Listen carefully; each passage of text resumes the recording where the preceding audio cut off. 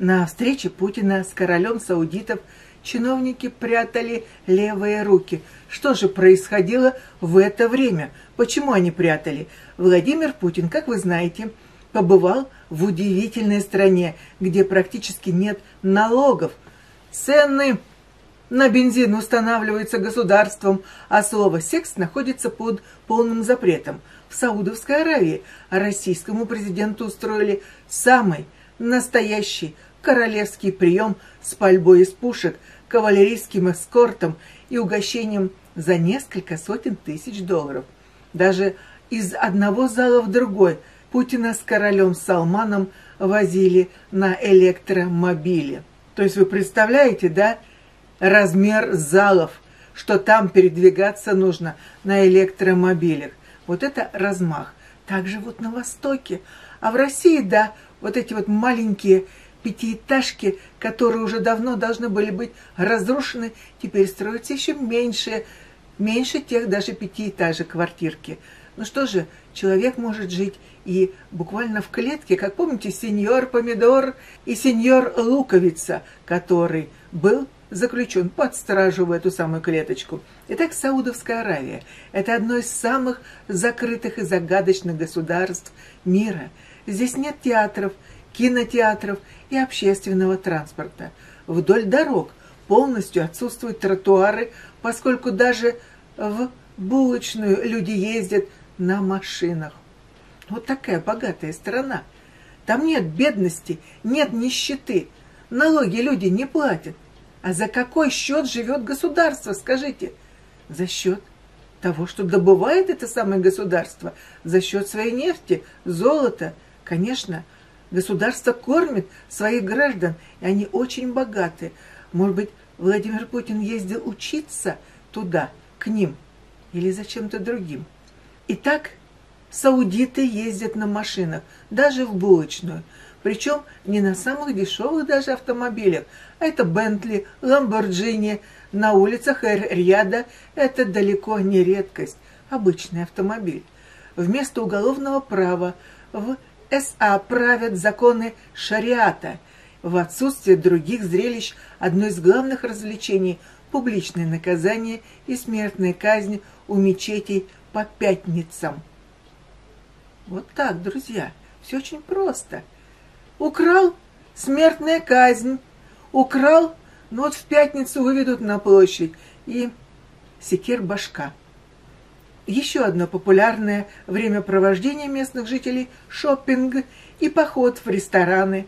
Каждый ресторан имеет две секции для одиноких мужчин и для семейных, куда приходят с женами. Для одиноких женщин, естественно, ничего нет. Официально в стране разрешено многоженство, но на практике оно, как говорят дипломаты, практикуется довольно редко, ибо каждой новой жене мужчина должен обеспечить такой же уровень жизни, как и предыдущий, включая дом, авто с водителем, няню для детей, наряды. Наши мужчины поучились бы не альфонсами быть, а вот так пытаться так пробиваться в жизни и зарабатывать, чтобы вот таким образом обеспечивать своих жен и детей, а не думать, как бы сбежать от алиментов и от жены, для того, чтобы не платить ничего. Менталитет. Разница в менталитете, господа красные товарищи. И, кстати, люксовые бренды здесь пользуются большой популярностью, хотя носят их качестве домашней одежды, а в повседневной жизни даже ближайшие родственники не знают, как выглядит, например, жена брата. Правда, для иностранок в последнее время делается все больше послаблений. Пресс-служба Кремля требовала от журналисток из уважения к традициям обзавестись обаями.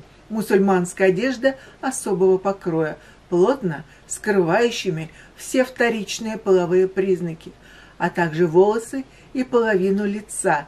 Но на практике оказалось достаточно длинного платья, а в гостинице так и вовсе можно ходить в скромной европейской одежде, включая джинсы и с непокрытой головой. Что действительно поражает, так это обилие цензуры. Но это для нас с вами написано, что цензура там есть. Да, если бы наше государство обеспечивало своих жителей полностью, исключило бы налоги, и каждый житель ездил бы на Бентли, то зачем нам цензура, господа, товарищи красные? Но не нужна нам цензура была бы тоже. То есть мы бы тоже голосовали ввести цензуру. Это в зависимости от того, как мы живем. Поэтому обилие цензуры в таких странах, в богатейших странах, где местные жители живут шикарно, цензура применяется, вероятно, для иностранцев – причем в самых удивительных местах. Например, в торговых центрах существуют специальные люди, которые закрашивают на упаковках с иностранным товаром все, что кажется им предосудительным. Обычно это голые части тела, например, руки, как женские, так и мужские, а также всякие плохие слова типа «поцелуй» и «секс», ну а также, конечно, любая лексика, связанная с употреблением спиртных напитков, которая встречается э, в англоязычных, допустим, песнях или еще где-то, это, конечно, вырезается. Друзья, но ну, я не думаю, что это так плохо, если бы немножечко пожестче мораль была у нас, а не такая распущенная. Я думаю, вы тоже бы согласились. Впрочем, на подавляющее большинство россиян наверняка произведет впечатление также следующая информация. В СА, в Саудовской Аравии, практически нет налогов. Можно открыть любой бизнес и зарабатывать деньги. Власти это только приветствуют в соответствии с программой реформ «Введение 2030», то есть 2030 год. К обозначенному сроку доля частного сектора ВВП должна вырасти до 65%.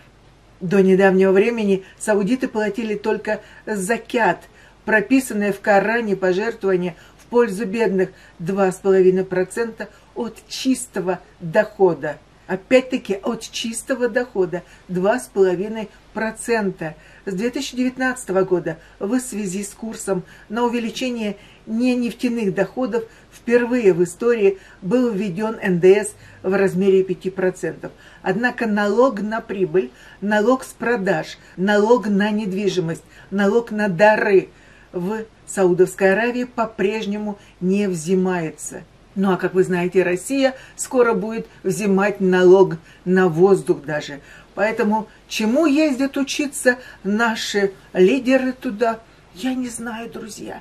Я не понимаю. Может быть, они, конечно, будут брать модель общества Саудовской Аравии или Объединенных Арабских Эмиратов за модель в нашей стране. Но было бы прекрасно. Доходы королевства в 2019 году, по прогнозам, составят 264 миллиарда долларов. Это примерно 17 триллионов рублей. В России не намного больше – это 19,8 триллионов рублей.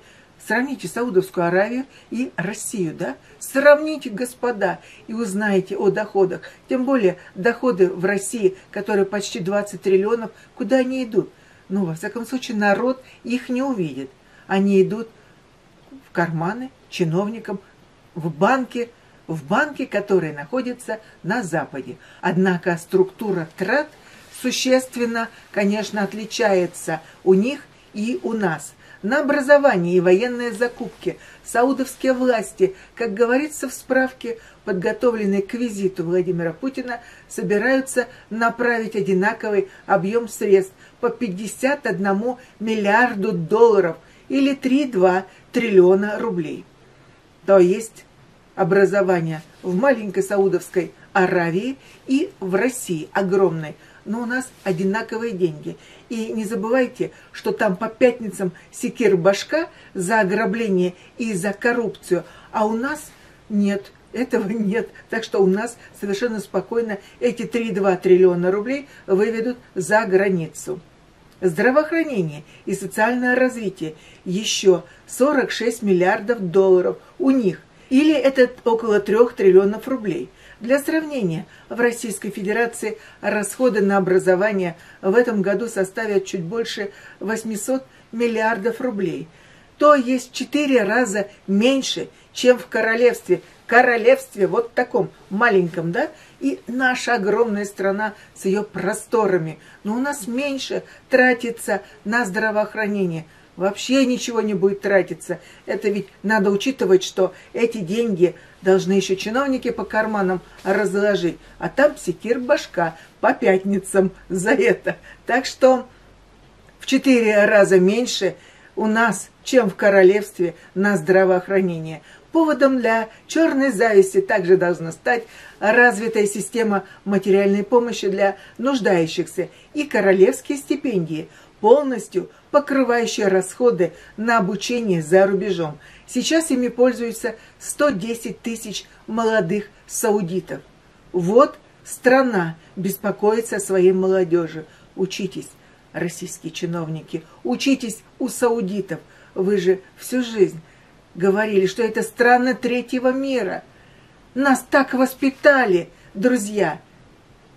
Да, какая-то толерантность, такая, знаете, фиговая, с фиговым листочком прикрытым, потому что многие знают, как относились к африканским студентам и к арабским студентам. А теперь, ну а теперь вот видите, можно только позавидовать этим студентам. Итак, на образование и военные закупки саудовские власти собираются направить одинаковый объем средств по 51 миллиарду долларов или 3,2 триллиона рублей. Владимир Путин прилетел в Саудовскую Аравию по приглашению короля Салмана Аль-Сауда, носящего официальный титул «Хранитель двух святынь» – Мекки и Медины. Следует напомнить, что плане политического устройства Саудовская Аравия – это абсолютная теократическая монархия, с ней не самой простой системой наследования власти, чем-то напоминающая древнюю Русь. Сначала трон переходит от брата к брату, и лишь затем к представителям следующего поколения. Например, перед нынешним королем страной правили шесть его единокровных братьев. И только потому, что эта линия уже исчерпана, наследным принцем был объявлен сын Салмана Аль-Сауда Мухаммед. В целом правящая династия насчитывает более 7 тысяч одних только принцев, а с побочными ветвями порядка 20 тысяч человек. А у нас все убивались, убивались, убивались. У нас все убиты или все сбежали из страны. Разница в менталитете красных и богатых саудитов. Вернее, бедных когда-то, те, которые были ничем, жили в пустыне. На чем они поднялись, друзья? Вот и стоит поучиться нам у Саудовской Аравии и у Объединенных Арабских Эмиратов, у арабов. Учитесь, чиновники, учитесь по пятницам давать ответ за прожитую вами неделю. Я Таня Карацуба, Сиит Бурхан.